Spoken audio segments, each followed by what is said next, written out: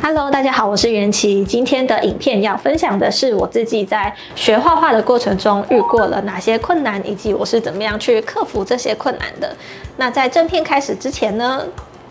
先来宣传一下我的新书《iPad 电绘美丽新世界》，现在已经出版了，在博客来及各大书店都买得到。那这本书呢是要教大家用 iPad 以及 Procreate 这个组合去画出各式各样的插画场景。那在我待会分享的内容之中，有许多我自己喜欢的练习方法，都是有收录在这本书当中的。如果你有兴趣的话，就一起看下去吧。首先大概讲一下我自己学画图的经历，因为我现在是一个全职的插画家嘛，所以很多人认识我之后会问我的问就是，哎，你是学美术的嘛？或是你是念设计的嘛？那我自己呢，大学是念美术系的，纯美术，就是画很传统的油画、水彩、素描这些。那在大学之前呢，我是没有去念过美术班，就是只有念普通高中。然后考大学的时候有去画室稍微补习一下。呃，素描啊、水彩等等，数科会考的科目这样子而已。在我高中去画室学画画之前呢，我有印象，我小时候在画图的时候呢，是非常讨厌上色的，因为我觉得上完颜色之后都会把我的图破坏掉，可能原本线条画的蛮好看的，一上色就毁掉，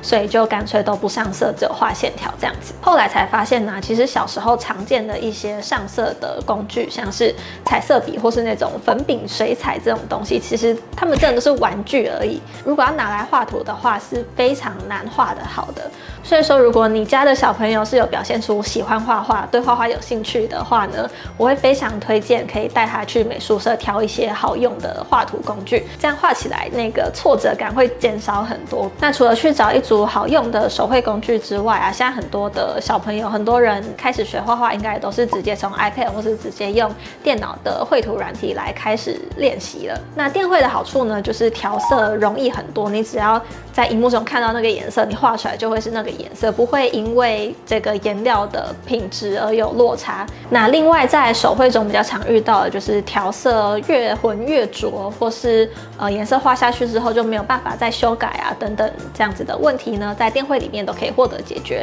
因为你如果画了不喜欢的颜色，只要擦掉或者删掉重画就可以了。除此之外呢，这边也分享一个我自己在上色时最喜欢用的小技巧，就是在上底色这个阶段呢，把每一个颜色的涂层都分开。假设说要画一只虎斑猫，那我就把这只虎斑猫的底色咖啡色，还有它白色肚子，还有它深咖啡色的条纹，这些颜色的涂层全部分开。那在依序填完色之后呢，我就可以用调整的这个功能来去做微调，去搭出我觉得更好看的配色。那当你画面中的物品越多的时候，这个调整的功能就会越实用哦。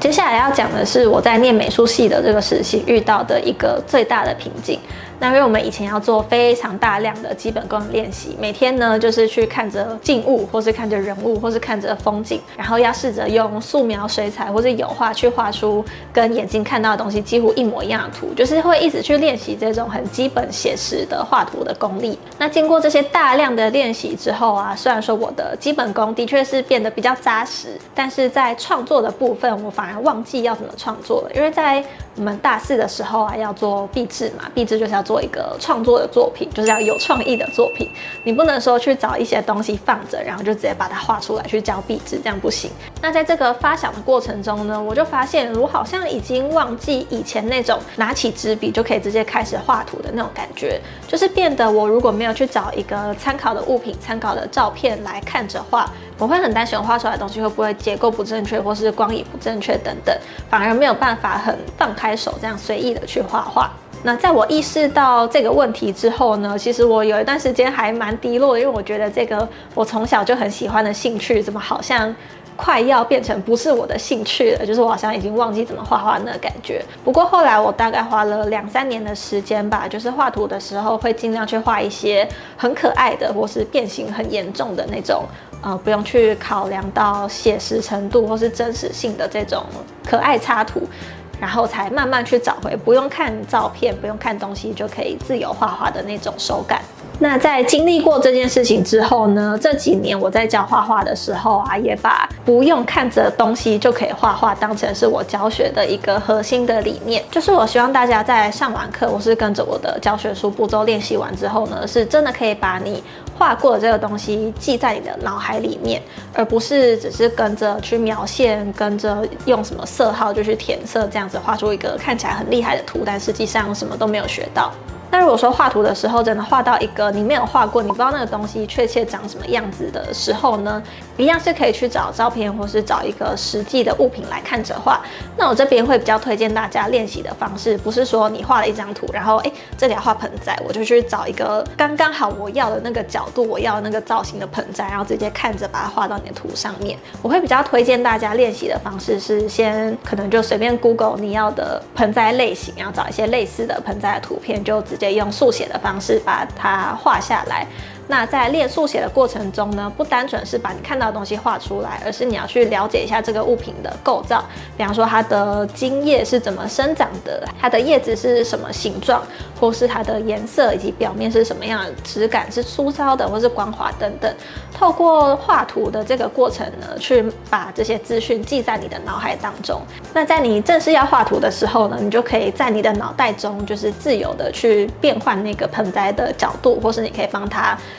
改一下叶子的数量啊，稍微修改一下它的结构，因为你已经把盆栽它实际的结构记下来了，所以你要它怎么长，它就可以怎么长。这样子，我觉得在画图的时候是可以更加自由，而且可以跟你原本的背景或是旁边的其他物品去做搭配，不会被你找的那个参考图片给限制住。下一个是许多人都会遇到的一个问题，就是风格。要怎么去找到自己的风格？没有自己的风格怎么办呢？因为现在 IG 一打开，你就可以去看到很多插画家的账号嘛，有很多这些厉害的世界各地的插画家在分享自己的作品。那许多刚开始学画画的人呢，就会以为画图就是要像这些插画家一样，有自己的一套有辨识度的、有特色的风格，才有办法去累积粉丝，或是才有办法去接到一些委托或是案子。但我认为呢，风格应该不是用找的。而是你在经过大量的长久练习之后，它会自动产生。因为我们在画图的过程中，会慢慢去了解自己，就是知道自己喜欢画什么样的主题，或是喜欢什么样的风格，喜欢什么样的配色，甚至会有一套自己常用的笔刷，或是自己一套惯用的画图流程。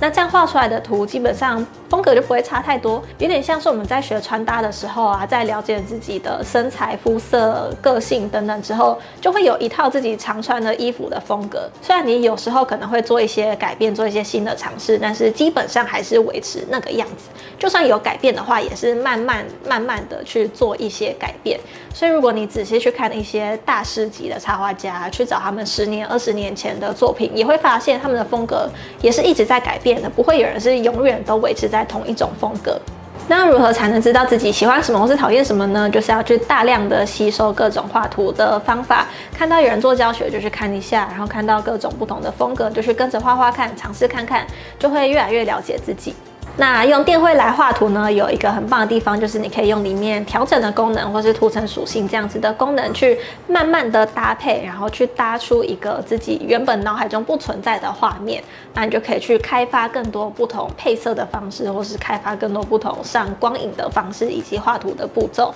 这边就分享一个我自己很喜欢用的功能，叫做梯度映射。有时候画完一张图的底色啊，就是在上完固有色之后，可能会觉得画出来的颜色。不够梦幻，或是那个童话感不够，不够插画就对了，就是太无聊、太真实了。那我就会用梯度映射这个功能去重新做配色，甚至可以在配完色之后再搭配图层属性，不同的图层属性去试试看它的效果，然后去做出仿佛一个照片滤镜一般的这种效果。画出来之后就可以把这个感觉记起来，下次在画图的时候呢，就可以尝试在上底色的时候直接画出这样的感觉，或是也可以再继续使用这些调整功能去。变出更多不同的氛围出来。最后一个问题就是没有灵感的时候怎么办？这个呢也是我很常被问到，就是哎，你灵感都从哪里来啊？然后我也每次都回答，灵感就是从生活中去寻找啊。那我也认为呢，画图如果要画得好，最重要的其实不是技巧，但如果你技巧好的话，可以画出比较好看的图嘛。但我觉得更重要的一点是耐心，就是如果你有很充足的耐心，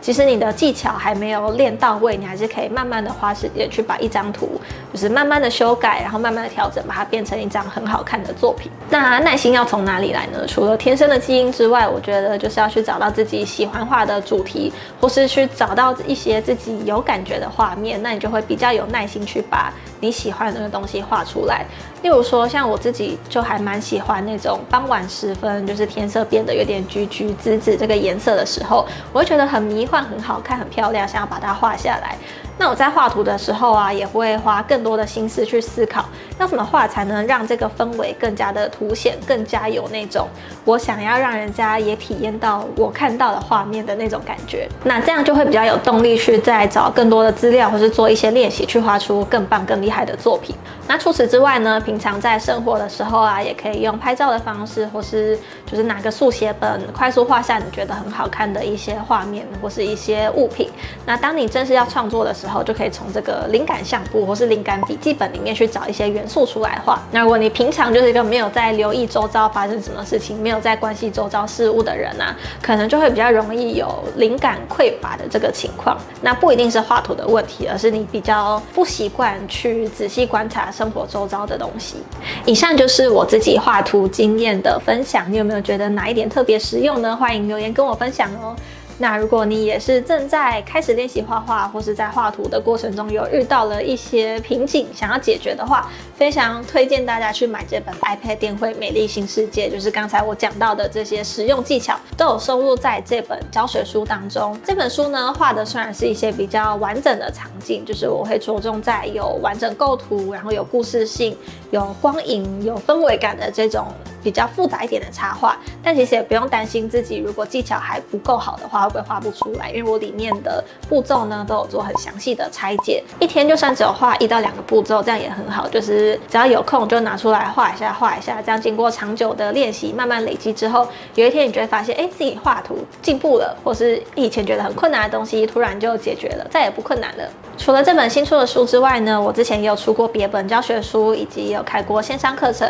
大家可以参考这一页的资讯去挑选适合自己的书或是课程，在影片的资讯栏也都有放上购买链接哦。你还有什么觉得很实用的画图方法想要分享给大家吗？或是有什么自己还没办法克服的困难，也欢迎留言跟我分享。那我们就下次见，拜拜。